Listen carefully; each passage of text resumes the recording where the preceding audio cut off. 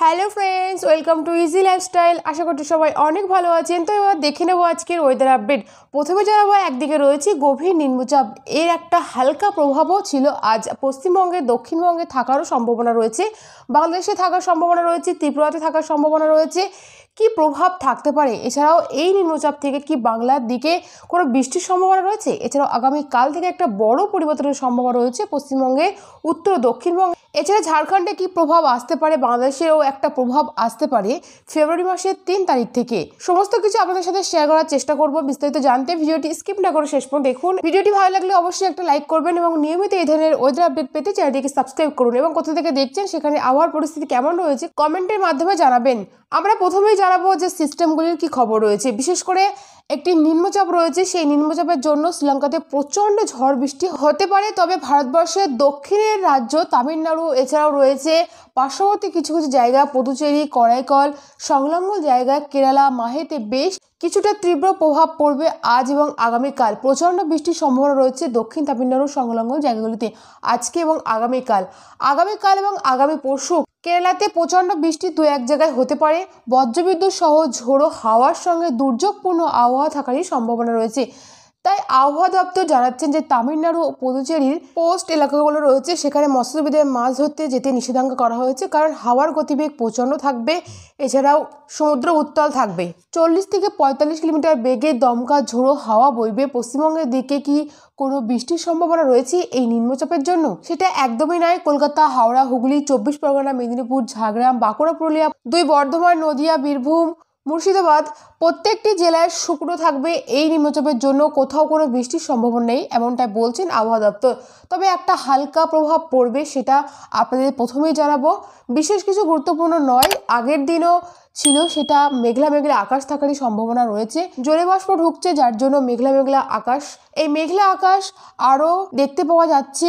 কারণটা হচ্ছে উত্তর পশ্চিম হাওয়াটা এখন বন্ধ রয়েছে, যার ফলে আজকে কলকাতা, হাওড়া, হুগলি, সুন্দরবন, এছাড়াও দীঘা, মন্দারমণি, কাকদ্বীপ, নামখানা, ফেজারগঞ্জ, গোসাবা এই সমস্ত জায়গাগুলোতে প্রচণ্ড মেঘলা আকাশ থাকতে পারে।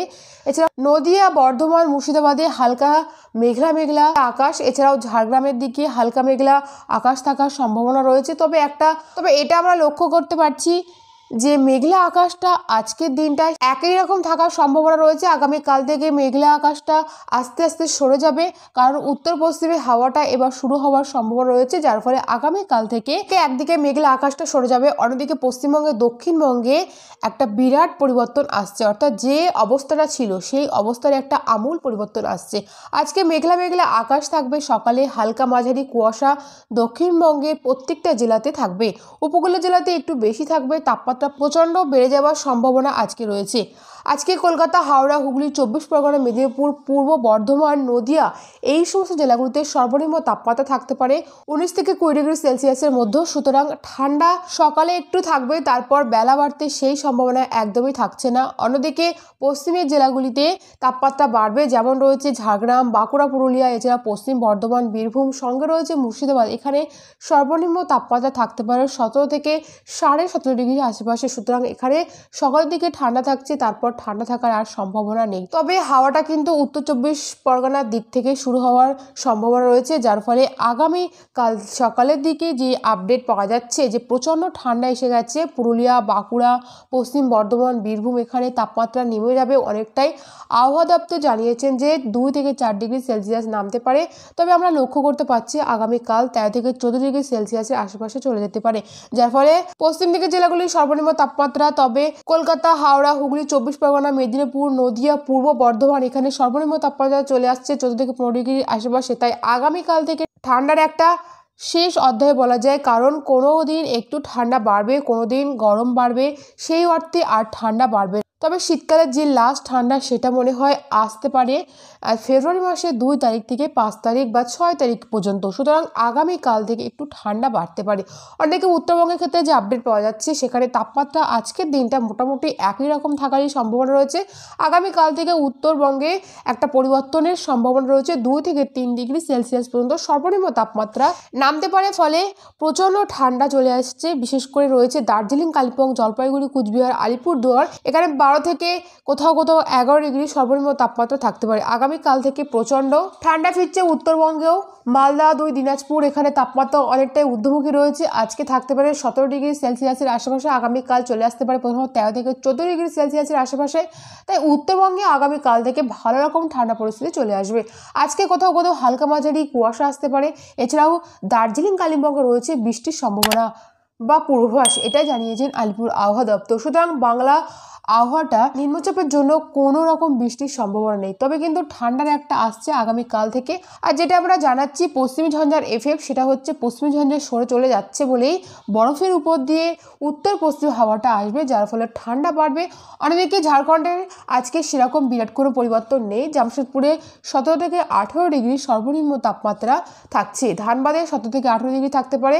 তবে আজকে ডালটানগঞ্জ এখানে ঠান্ডা ঢুকে যাচ্ছে, আগামীকাল থেকে সারা ঝাড়খণ্ড জুড়ে তাপমাত্রা প্রচণ্ডভাবে নেমে যাবে। প্রচণ্ড ঠান্ডা পরিস্থিতি চলবে। দুই থেকে পাঁচ তারিখ পর্যন্ত ফেব্রুয়ারি মাসের এই কয়েকটা দিন, তবে বৃষ্টির কোনো সম্ভাবনা নেই। এছাড়াও আসাম, মেঘালয়, অরুণাচল প্রদেশের ক্ষেত্রে যে আপডেট পাওয়া যাচ্ছে, কোথাও কোথাও ঘন কুয়াশা আসতে পারে, বৃষ্টির আপাতত কোনো সম্ভাবনা নেই। অরুণাচল প্রদেশের কোথাও কোথাও হালকা বৃষ্টি হতে পারে, আসামের দু এক জায়গায়, পূর্ব দিকের উঁচু জায়গাগুলিতে বৃষ্টি হতে পারে, খুবই হালকা ছিটে ফোটা। তবে ঠান্ডার ক্ষেত্রে যে পরিবর্তনটা রয়েছে, আজকে এবং আগামীকাল বড় পরিবর্তন আসছে না। তবে ফেব্রুয়ারি মাসের তিন তারিখ থেকে কিন্তু আসামে মেঘালয়, অরুণাচল প্রদেশে একটা মোটামুটিভাবে ঠান্ডা বেড়ে যাবে। অন্যদিকে ত্রিপুরার ক্ষেত্রে যে আপডেট রয়েছে, আজকে তাপমাত্রা ঊর্ধ্বমুখী রয়েছে। সতেরো ডিগ্রি সেলসিয়াসের আশেপাশে সর্বনিম্ন তাপমাত্রা থাকছে। আগামীকালের যে আপডেট রয়েছে, তাতে ঠান্ডা আগামীকাল থেকে একটু বাড়তে শুরু করবে। তবে এবং তিন তারিখে যে আপডেট রয়েছে, সারা ত্রিপুরা জুড়ে ঠান্ডা বেড়ে যাবে। এর সঙ্গে আমরা লক্ষ্য করতে পারছি আজকে মেঘলা মেঘলা আকাশ থাকার সম্ভাবনা রয়েছে। ত্রিপুরা, মণিপুর, মিজোরাম, নাগাল্যান্ডের দিকে হালকা থেকে মাঝারি কুয়াশা আসতে পারে। অনেকে বাংলাদেশের ক্ষেত্রে যে আপডেট পাওয়া যাচ্ছে, সেখানে বাংলাদেশের আবহাওয়া দপ্তর জানাচ্ছেন যে যে তাপমাত্রার পরিবর্তনটা আজকে সেইভাবে নেই। আজকে রংপুর, রাজশাহী, ময়মনসিংহ, সিলেট সর্বত্রই একই রকম আবহাওয়া থাকবে।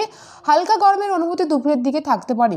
দক্ষিণাঞ্চলগুলোতে থাকতে পারে। আগামীকাল থেকে পরিবর্তনটা শুরু হবে। রাজশাহী, রংপুর, খুলনা বিভাগে অর্থাৎ দেশের উত্তর পশ্চিম এবং দক্ষিণ পশ্চিমে ঠান্ডা ঢুকছে আগামীকাল থেকে। ফেব্রুয়ারি মাসের তিন তারিখ থেকে সারা দেশ জুড়ে ঠান্ডা বাড়তে পারে। রংপুর, রাজশাহী, সিলেট বিভাগে ঠান্ডা বেশি থাকবে এবং দক্ষিণাঞ্চলগুলোতে ঠান্ডা বাড়বে। তবে প্রচণ্ড ঠান্ডা বাড়বে এমনটা নয় চোদ্দ থেকে পনেরো ডিগ্রি সেলসিয়াসের মধ্যে সর্বনিম্ন তাপমাত্রা থাকার সম্ভাবনা রয়েছে।